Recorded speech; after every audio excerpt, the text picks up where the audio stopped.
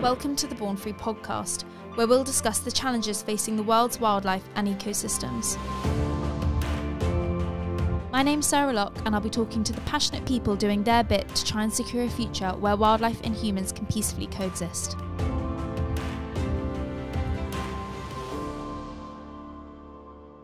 So today we're joined by Virginia McKenna, co-founder of the Born Free Foundation. Uh, thank you very much for joining us. Thank you for asking me. No, so so who would have thought that 35 years ago, your this little idea that you had with your husband and your son Will would grow into the vision that it's become today? Wow. Well, I, I certainly don't think we ever thought it would. Um, as some people might know, we started because of the zoo issue, wild animals in captivity, because of the death of an elephant, a teenage elephant that we'd worked with in a film. That's quite a long story, so I won't tell this minute. But um, it then it then grew into something much bigger than we ever imagined. We Yeah. thought we would stay with captivity, but it then went on to animals in the wild as well. Quite a movement. Um, So, did you ever think that animal welfare? Because obviously, originally you were an actress. Um, did you ever was animal welfare kind of ever in your periphery as a career or anything? Well, animals have always played a huge part in my life. When I was a child, my father had all sorts of animals that I would deeply disapprove of now. He had a snake called George, and he had budgerigars in a cage, which actually I accidentally let out one day to clean the cage, and they flew out of the window. So it wasn't a very happy result for myself, and I was a bit punished for that. But also, I'm not sure how long a life a captive budgie would have had in the wild, but that was a terrible accident. But and he had two bush babies. And so I did have a lot of wild creatures in my young life. Wow. So was that in the UK? He had bush yes, in- babies. yes, in, Ha- we had a house. In, he had a house in Hampstead, Oh wow. and then we moved to Horsham, actually in Sussex. Oh my gosh! So Sussex really is hmm. really does have a place in your heart. I, I hadn't realised that. Hmm. And why bush babies? I mean, where had he found those from? I don't know. It's very strange. I, I, I was a bit small then, and I didn't really ask questions like that. Um, I did know that he was very interested in re- in snakes, because um, apart from dear George, who slithered around the garden f- from time to time, um, because he used to be very friendly with the keeper of this reptile house at London Zoo. And when I was very small, like five or six years old, I would be taken with him to have the snakes. And I used to have them put around my neck, and I was completely happy with it. So I never had this innate fear of snakes, which a lot of people do. And I'm very grateful for that, actually, although I wouldn't approve of another George being in a cage. Mm, No, what a juxtaposition, Yes. sort of from your childhood to what you've ended up making a life out of. Yes. Um, that's so interesting. Um, and I wonder, how do you sort of try to bring nature into your, as a poet, like apart from your work, I suppose, how do you try and bring nature on that one to one level into your life nowadays? I suppose the only answer I can give to that would be that um, my husband Bill and I, we lived in London when we first were together, and uh, we never wanted to live in a city. And so we started looking for somewhere in the country. And we spent about two years looking for something. And one day we came across uh, the place where I live still. And um, it was a little gamekeeper's cottage with no bathroom, a view to absolutely die for. And he said, we both said, "This is it. This is it's the view." That you could look into the far hills and to the downs beyond, and it's like not being in Africa, but you're seeing the wild, which was just wonderful. And do you remember the first time that you went to Africa? Because obviously you were you were taken out, weren't you, for the film Born Free, and that's sort of where everything really started. But had you ever been before?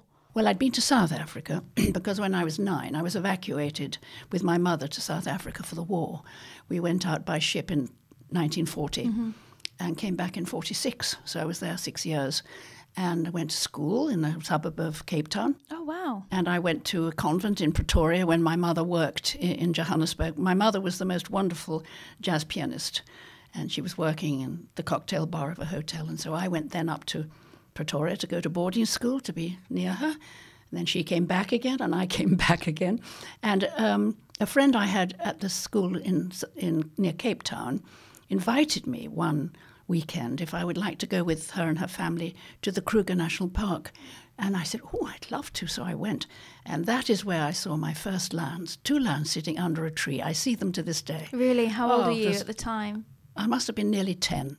Wow. Mm. And that's sort of stuck in stuck in your Oh, mind. always. The contrast between my visits to the zoo, where I saw lions in the cages at London Zoo, and in those days there was no outdoor area. There was only the indoor concrete pen, and them pacing up and down and up and down, and the harsh clang of that metal door as you shut it after you'd gone in. That contrasted with the image of the two I'd seen in South Africa. I've never forgotten that. And and and obviously, um, the anti-zoo zoo sort of movement is something that Born Free still heavily campaigns for. And I know that um, actually just this week um, was wasn't it announced um, that the last travelling circuses in England um, are closing up shop. So I mean that must be such significance for you, and obviously something that you were campaigning for back in the '60s. Is that right?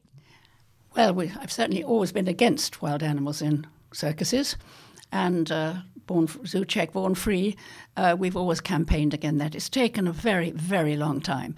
I remember writing to the then prime minister in uh, 2009 about this issue, and at last, all these years later, it's happened. I'm overjoyed, absolutely overjoyed. And when you first started cam- campaigning right at the very beginning, how was that? Um, how were you kind of treated by the public? Because you must have been one of the first organisations to sort of to really start that that movement. And how how were you treated? What was the kind of backlash? Well, some of the public were really supportive, and uh, you know they'd got someone who, well, Bill and myself, and and then uh, Will, our son Will, you know, oh, people with a voice, they're having a voice heard. Of course, the, the, the captivity people loathed us, and I can understand that because we were really. Uh, uh, having a, an, a view opposing to the, theirs and saying we don't think wild animals or any animals should be kept in, in captivity. And um, so we made our voice known. It was the death of an elephant at London Zoo that started our work. And that was Pole Pole, wasn't it? Pole And you worked with her in a film also in Kenya. That's right. It was a film that Bill made with the director of Born Free, James Hill, and it was called An Elephant Called Slowly. And we made it in 68 in Tsavo. Um, and at that time, the famous couple, Daphne and David Sheldrick, were in Tsavo. He was the senior game warden. And they were absolutely wonderful. And they had two juvenile elephants that they were they'd rescued and were going to go back to the wild. And when we finished making the film with this little elephant, two-year-old elephant, um, I have to go back a little bit because she'd been captured from the wild by the then government of Kenya as a gift to London Zoo. And when we finished filming, we asked if we could buy, have her, buy her from them to give to the Sheldricks so it she could join the little group. And they said, yes, but we'll have to capture another. So we said, we can't, we can't allow another family to be torn in bits. So we didn't do that, and she came to the zoo, and it wasn't until we went to see her and saw her, and she remembered us. She remembered our voices. And there's that famous picture, isn't there, Yeah. of you and your outstretched hand and um, Pole Pole trunk. The trunk, She's yes. out She remembered us. So I started fighting to, to get her free, uh, and I found a park in South Africa who would love her there, and I found someone to take her who understood elephants, and the zoo refused, but said they would send her to Whipsnade Zoo, their country zoo, where at least she'd have company of her own kind. Unfortunately, the move never happened because she was kept standing so many hours in her travelling crate, and she collapsed. They managed to get her indoors. Uh, there's a terrible photograph of someone in the army with a car jack jacking her up onto her feet because she couldn't get up on her own. Got her inside, and uh, under anaesthetic, they said, Oh, we can't do anything. She's lost the will to live, and they put her down. And it was her death that started Zoo Check. That really is such a heartbreaking is. story. It really waste. Mm. is. And even still now, it must mean so much to you. Yeah. Um, and I wonder, do you think the public's perception of, of wild animals and the way that we keep them in captivity has changed? I mean, I feel like we so we know so much more, particularly about sort of sentient animals like like elephants Mm. and the damage that keeping them in captivity really does. But do you think there has been a change in the way that you know we we still um, keep animals in captivity? Yes, I do. I mean, I can't speak for Europe and the Yeah, Far cool. East and that sort of thing because I've been to some zoos in China and, and, and I'm not sure that the culture there is quite as uh, going in that direction as much as we are. But I do think, I mean, there are no elephants at London Zoo anymore. You know, I tick a box there. You have to mm. give credit where it's due. There are all sorts of things there which I still don't like, but at least there are no elephants. I do think there's a change in public opinion because you see, quite apart from groups, and there are more of us now campaigning against captivity, we see these fabulous documentaries on television where you see animals in nature behaving in nature as they should. And so people now got a got a sort of contrast. Oh, but it didn't look like that when I saw David Attenborough's film. Well, of course not, because one's free and one's not. So um, I think there is a big sea change, and I think it will get more, actually. I'm hoping it will. No, definitely. And I, I suppose people like um, Damian Aspinall, obviously his father started um, Port Lympne and Howletts. Uh, Howletts. Yeah, that's the one, Howletts. Um, and now obviously he has called for zoos to be phased out in like the next few. Um, I think it's just wonderful. yeah, really great. And I wonder, is there? Do you think there's been a like a, a significant moment? Do you think there's been a significant change that's really made those those key people sort of see that, see the things that you've been campaigning for for years? I, sup- I suppose that's true. It may be a question of different things happening over a period of time. After all, we didn't have a zoo. Uh, we weren't sort of putting our back on having a zoo and wanting the animals to be free because we've never had a zoo. But he and his family, as you've just said, have had a zoo for many, many years. And so it's, it's actually turning his back on his, his culture of his family. And I admire him tremendously for doing that. It, it's no small thing. And uh, he has been, he is well known for his uh, rehabilitation of gorillas back to the wild and another species, which I'm afraid I can't remember at this very minute, but the gorillas certainly. So, you know, he, he's already made steps in that direction, and now he wants to go the whole way, and I'm cheering with all my heart. No, absolutely. It's re- really fantastic steps. And I know that education is something that's really important for you. We just touched upon it there. And um, you've just actually come back from school this morning, haven't you? Sort of, Yes. Are you out? Are you trying to sort of inspire new generations, or are you sort of trying to, I guess, like show them the kind of the error of our ways previously? What's your kind of main motivation for going out into schools? Really to just open another door for children to look through and experience the alternative way of looking after the other creatures in the world. You know, we wouldn't like to be shut in a, in a zoo or human equivalent of a zoo, you know, to survive. And why should animals which are sentient and feel pain, happiness, joy, suffer, virtually all the things that human beings feel, why do we think we have the right to actually cage them, imprison them? And there is no other word. They're not free. They're not free. They're captive. And, you know, we've got safari parks where they've got more space, but that's still not freedom. They can't choose when they get up and go out. To, they can't choose when they go to bed. They can't choose what they eat. They can't interact with each other in a way that wild creatures do. And I'm not saying that's all sweetness and joy by any means, but that's how they've evolved to, to live and survive. And who are we to deny them that? We wouldn't like to be denied it. We rail and rant when we're stopped doing stuff that we feel is important to us as individual humans. And I don't see why animals can't be given the respect that we are given. And what would you say to, I guess, kind of proponents of the zoo initiative that would say that actually the most accessible way to inspire children is to take them to, I guess, a London zoo? What would you say to that? Well, I can't agree with that at all. The way to inspire um, children who need inspiring are to watch the incredible wildlife documentary films made by Attenborough and all sorts of other people, going into the jungles in the Far East, going into onto the plains in Africa, concentrating on a particular species and what that species needs for its own survival, its enemies, its friends, the habitat it needs, what happens when there's a drought. All these things, that's real, not only inspiration, but education.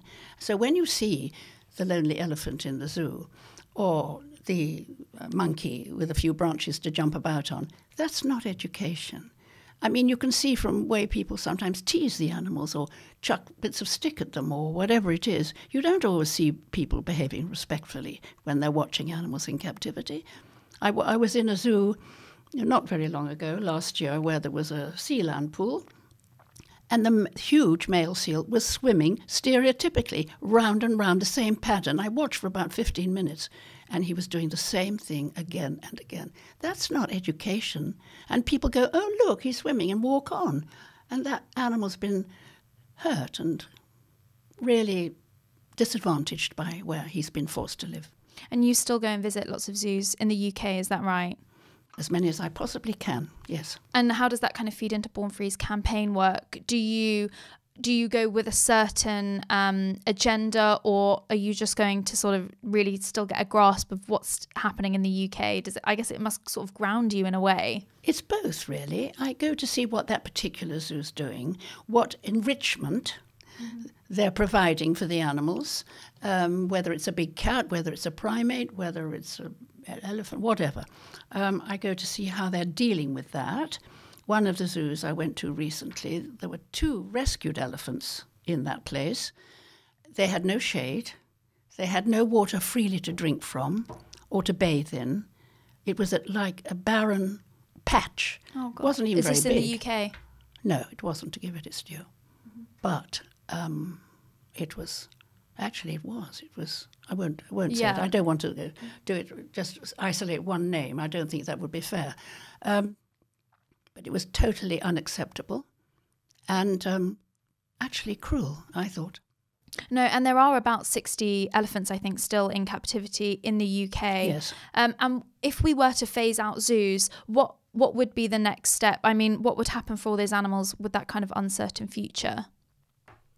Well, I've got two answers to that. The first is that some zoos that have that are not zoos but more safari parks or reserves that have a population that could tolerate and accept another elephant coming in, uh, and it has to be handled very carefully, of course, over time. Um, that would be one. But also, at Born Free, we are actually uh, raising funds at the moment for an elephant sanctuary in Europe.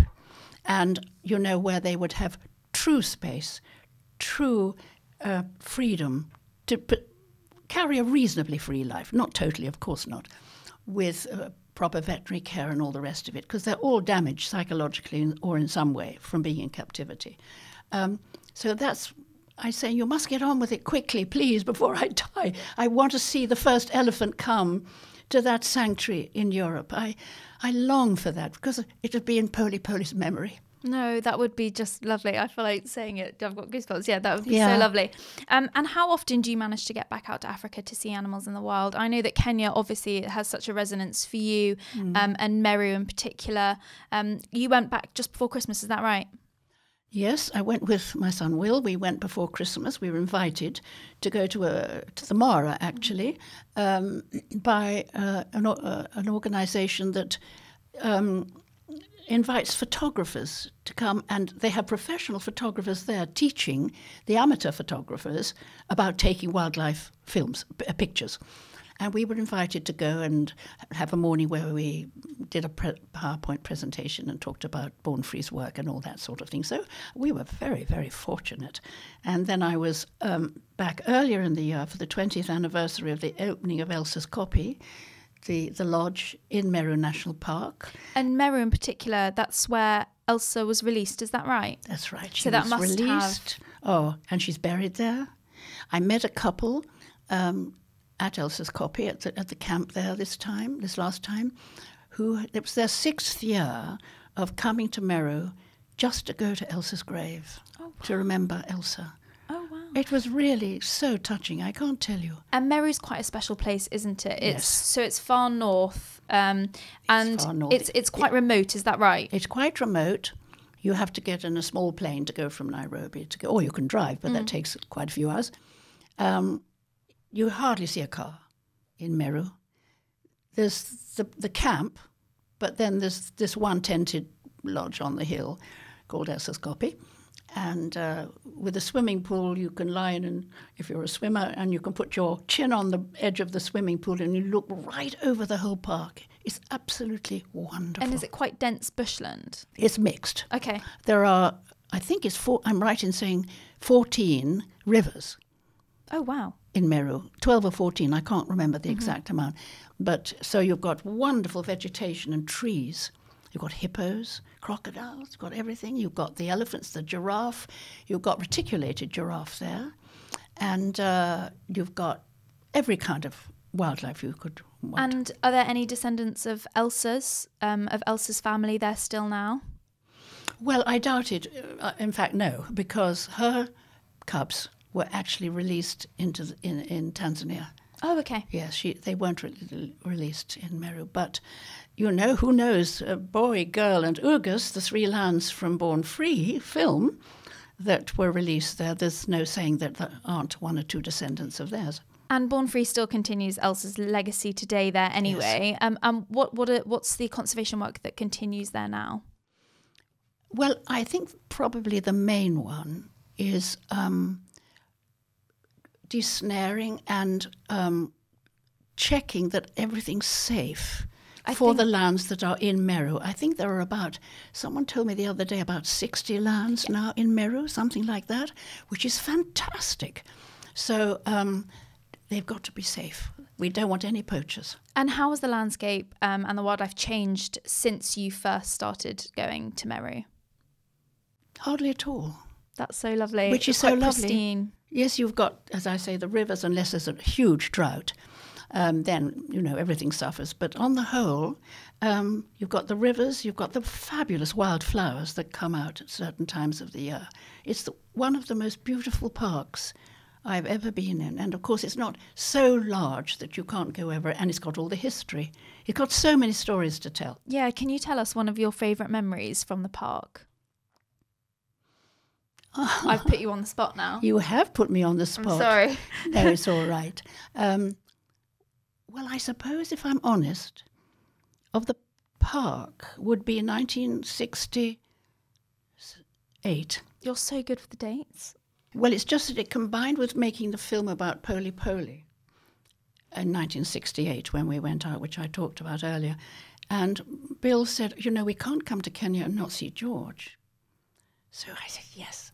And so we went up to George's pr- very, very simple little camp. I mean, hardly a, hardly a wow around mm. it, really. And um, we saw him and Elsa, uh, girl, sorry, girl who was one of the Lanas playing Elsa was one of the three that he was returning to the wild. And she came, she was in camp and she walked by as we were sitting at the table, like I am now. We're having a mug of tea or something. And I was able to just stroke her back as she passed. And then we went out and we saw Ugas, the big male, and I sat, st- stood next to George and looked at him, and he didn't bother me. He, I didn't bother him. And then we saw Elsa again. I keep calling her Elsa, girl, lying on the ground. And we crouched down next to her, and I was able to stroke her because George said it's fine to stroke her now. So, did they live um, in the camp with George, or were they they were f- free flowing, weren't they? They could come and go as they pleased. They just chose to. Is that right? Yes. Well, they they did come and go. At first, I think he would acclimatise them mm-hmm. and bring them in at night, you know, so they were safe at night. But then eventually, they probably got a bit fed up with being at night, you know. And once that uh, she mated with her brother, actually, had cubs. Mm-hmm. And um, once they started to be more wild, um, then they were off. Yeah. And what are your hopes? I know that you're planning to go back, aren't you? Um, I think at the end of August for George Adamson Day um, back to Meru. What are your hopes for the Meru Kora landscape for 2020? I'm always optimistic.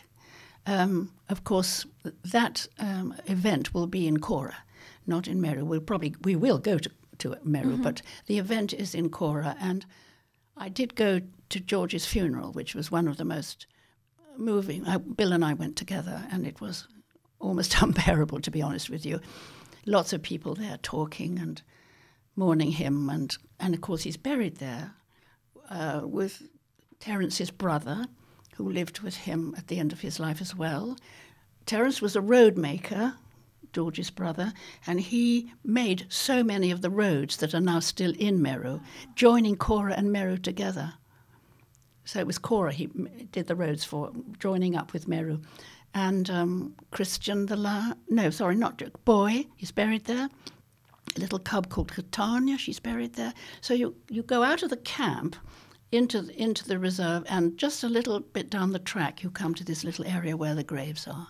Oh wow! It's very very touching, and it's absolutely I'm, I'm longing to go back and re- remember it all. No, I can imagine. So, how can people help? How can people um, find out more about Born Free's work in Meru?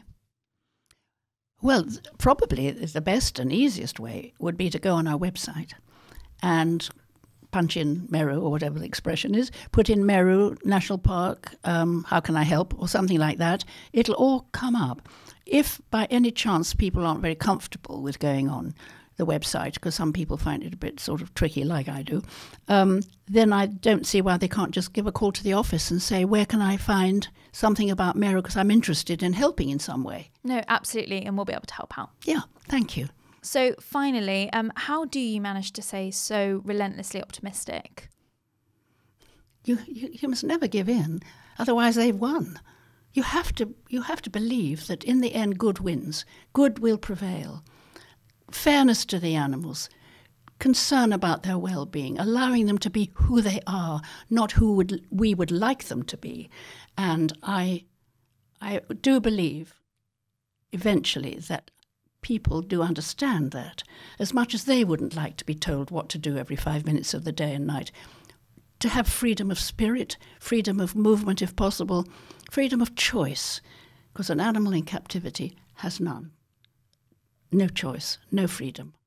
They're not able to do what they'd really like to do. And I want animals to be themselves, not we, what we persuade them or force them to be. We're so arrogant, and I don't like that. No, no, definitely not. Um, and you are described um, as an inspiration by many people, myself included. um, I know I can see your face. Um, and I wondered who or what inspired you, maybe right at the very beginning of your life. Right at the very beginning of my life, perhaps not, but of my of of making the film. And of course, Bill was a great. My husband was a great inspiration to me. He was so strong and unafraid to be unpopular, as I'm not. I don't care about being popular.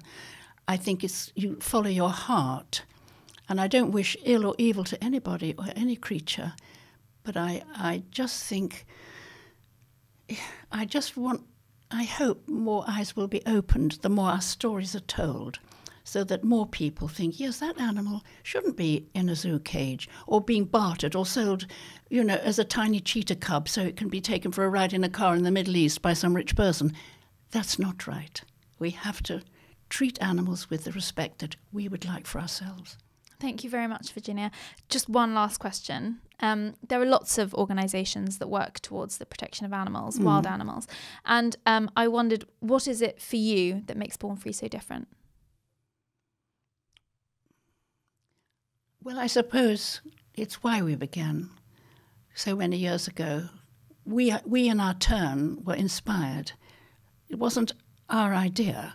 The idea came to us through the experiences we had because of making Born Free, Pole Pole in the zoo and her death. All these things, you either walk away from it or you cannot walk away from it, and we could not walk away from it. And it was the animals it's always the animals that do it. Just have to open your ears, your heart, and your eyes. Thank you very much, Virginia. That's a very inspiring note to finish on, I feel. Thanks. Thank you so much. Thank you for listening to the Born Free podcast. If you've enjoyed this episode, please subscribe to our YouTube channel to watch the episodes, follow us on social media, or head to our website, bornfree.org.uk. My name's Sarah Locke, and our producer is Philip Fortuna. See you next time.